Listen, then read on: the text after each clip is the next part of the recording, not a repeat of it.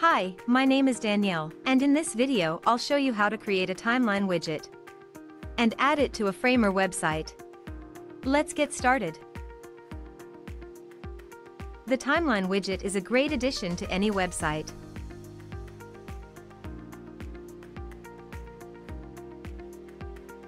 To start, enter Common Ninja website. Choose your widget from our large collection of widgets. And once you've entered the widget page, click on the Create button to enter the timeline editor.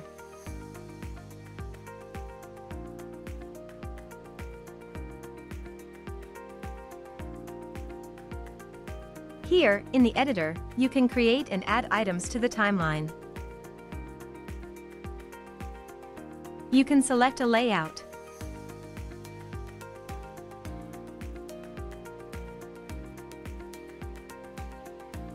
and select a skin.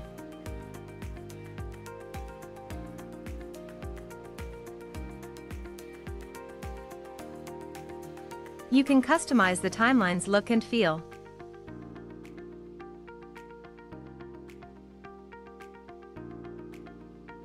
And you can change the settings.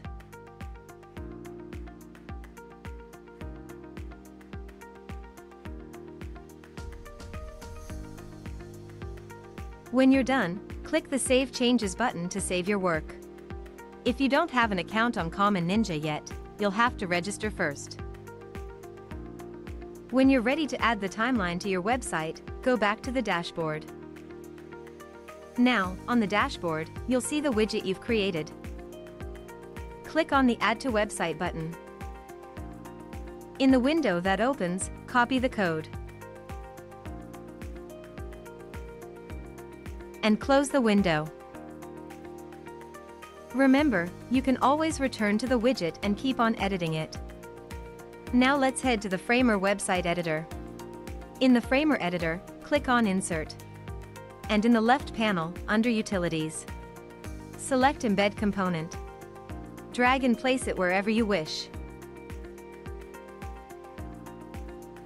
In the right panel, in the Component Options, select HTML and simply add the widget code you've copied before. And that's it.